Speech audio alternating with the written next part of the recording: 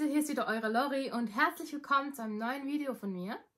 In meinem letzten Video habe ich angekündigt, dass ich heute mit euch über Body Positivity sprechen werde und darauf freue ich mich schon richtig. Fangen wir doch an mit der Begriffserklärung. Ja, Body Positivity auf Deutsch bedeutet ja Positivität für den Körper. Ist ziemlich, kann man ziemlich einfach ähm, übersetzen. Und ja, die Body Positivity steht eigentlich für die ähm, Körperakzeptanz und Selbstliebe ein. Aber natürlich im gesunden Rahmen. Ja, heute werde ich mit euch ein paar eigene Erfahrungen besprechen, was, ja, wie ich so mit ähm, der Body Positivity durchs Leben gegangen bin und es immer noch tue.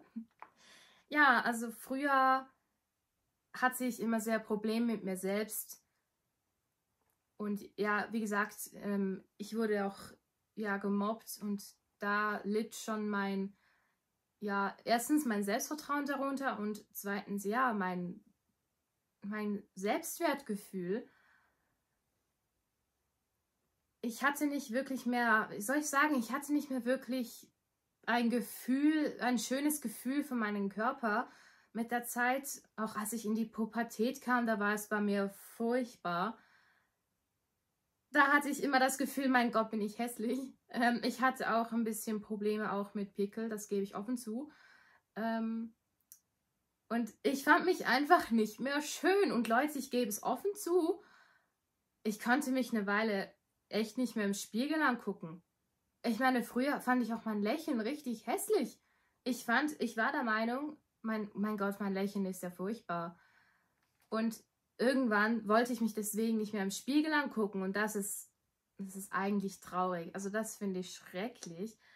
Ähm, ich finde es auch so furchtbar, wenn Leute denken, ich bin zu hässlich für die Welt. Ich will mich nicht zeigen.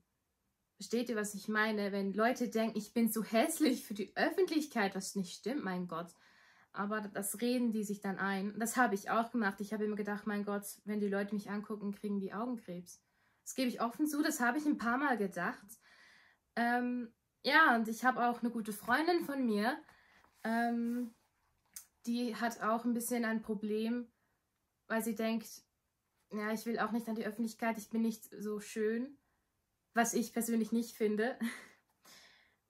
Und wisst ihr, was das Interessante an der ganzen Geschichte ist? Sie war es, meine Freundin, die mich ermutigt und motiviert hat, den YouTube-Kanal aufzumachen.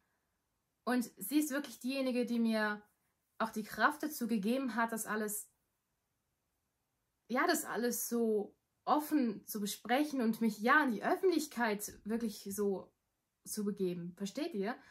Und an der Stelle bin ich ihr wirklich sehr dankbar. Weil wenn ich das nicht gemacht hätte, ich wüsste nicht, was, was ich sonst gemacht hätte. Ich meine, ich sag's ehrlich, mein Leben hat sich immer mehr verändert und durch diesen Kanal ist es jetzt nochmal was anderes geworden.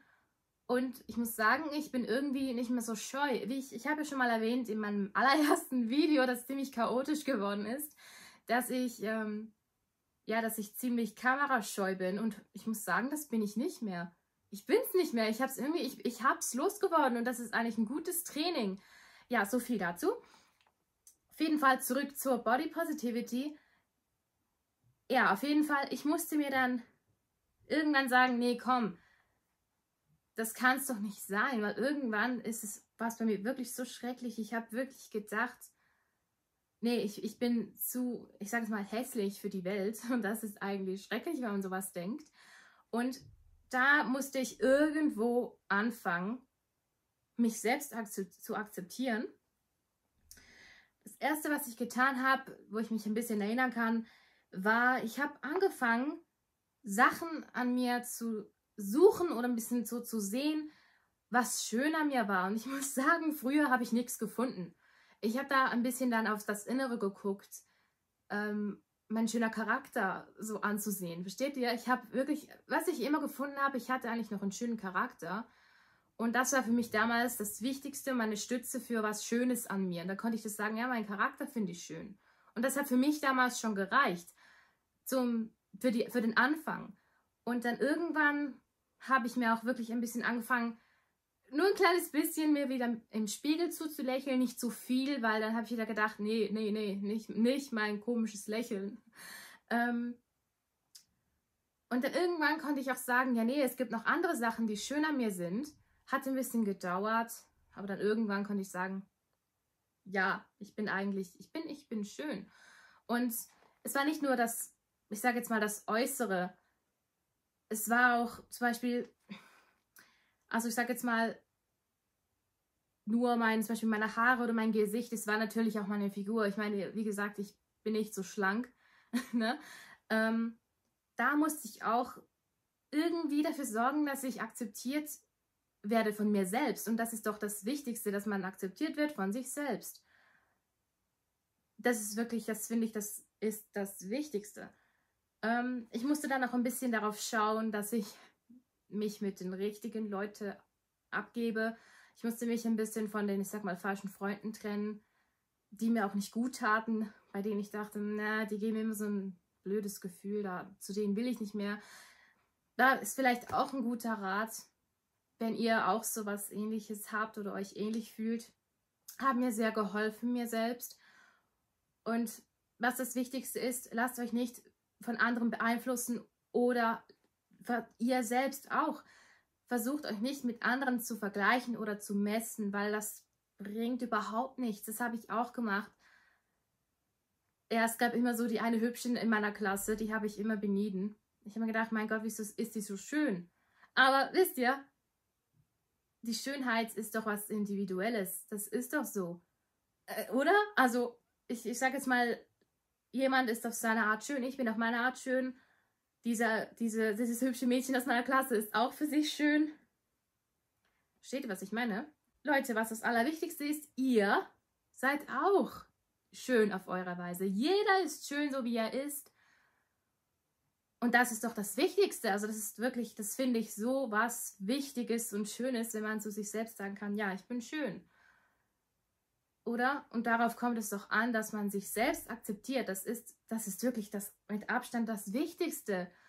Weil wenn man, wenn man an sich glaubt und wirklich sich selbst liebt, na dann äh, ist man auch viel selbstzweifellos. Ihr könnt mir echt glauben, als ich dann irgendwann mich akzeptiert habe und wirklich gelernt habe, mit meinen Stärken, meinen Schwächen, mit allem, mit meinem inneren Aussehen, meinem äußeren Aussehen umzugehen, habe ich wirklich nicht mehr diese, dieses schwere Gefühl gehabt. Kennt ihr das, wenn wirklich so, wenn, wenn eigentlich, es fühlt sich so an, als würde, als würde euer Herz mindestens eine Tonne wiegen und ihr einfach irgendwie, ja, dieses Gefühl habt. Versteht was ich meine? Diese sogenannte Zentnerlast die hatte ich auch immer. Vielleicht kommt es euch das ja bekannt vor.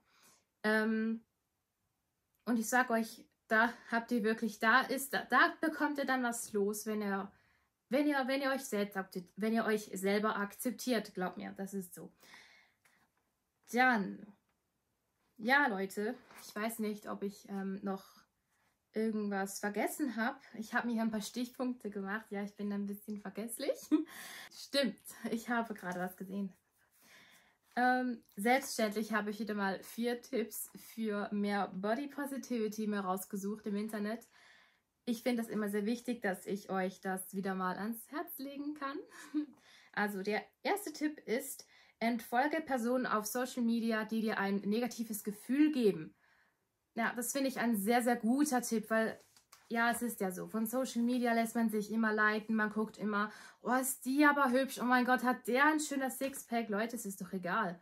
Dann entfolgt den. Wenn ihr denkt, ach, ich will aussehen wie der, dann entfolgt diesen Leuten, weil es tut euch selbst wahrscheinlich auch nicht gut.